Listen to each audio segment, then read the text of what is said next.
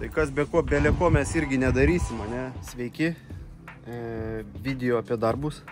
Ir šiame video norėjau pasidalinti savo žiniomis, todėl kad e, girdžiu daug komentarų apie šiltinimo medžiagos, reiškia, suspaudimą. Ne? Mes naudojame Rockwool Super Rock akmens vatą šiltinti karkasinėms konstrukcijoms.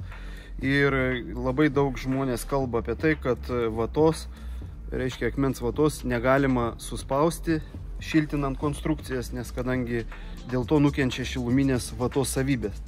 Tai va, tai, tai šiandieną pasidalinsiu savo žiniomis, kokia iš tikrųjų yra ta teisybė, galima, negalima.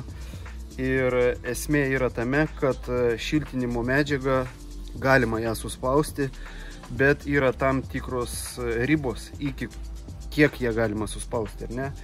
Tai vatą galima suspausti iki 80 kg vienam kubiniam metrui. Tai reiškia, jeigu e, Rockwool Super Rock vienas kubinis metras yra 35 kg, tai e, ją galima spausti dvigubai ir nuo to tik tai gerės jos šiluminės savybės.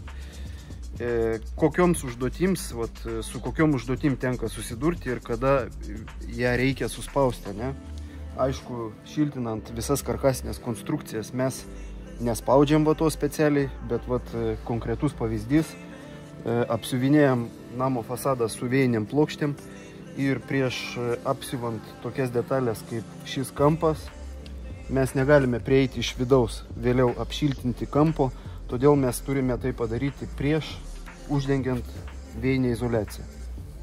Ir kokia gaunasi situacija? Situacija gaunasi tokia, kad mes štai į šį 15 cm tarpą įdedame e, du vatos sluoksnius po 10 cm, ar ne, ir jos galai užsiverčia. Reiškia, viduje per plyšiuką galima matyti, kad e, konstrukcija nėra apsišiltinus iki pat galo. O visos konstrukcijos turi būti apšiltintos iki pat galo. Todėl šioje situacijoje mes imam ir paspaudžiam tą vatą, jos sudėdami e, daugiau.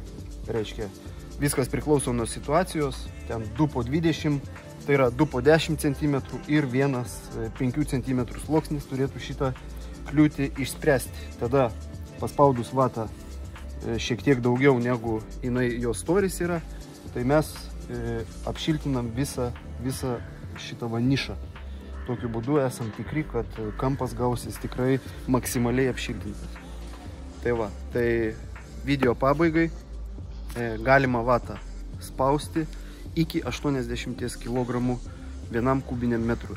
Tai reiškia, kad e, reikėtų žiūrėti e, techninius parametrus, pavyzdžiui, kaip Rockwool Super Rock yra 35 kg, ne? tai mes galime spausti ją daugiau netgi negu dvigubai ir nuo to šiluminės savybės tik tai gerėja. Perspaudus, reiškia viršijus tą skaičių 80 kg, tada jau vatos savybės pradeda prastėti, eina į apačią. Ačiū uždėmesi, spauskit laikus ir pasidalinkit su draugai.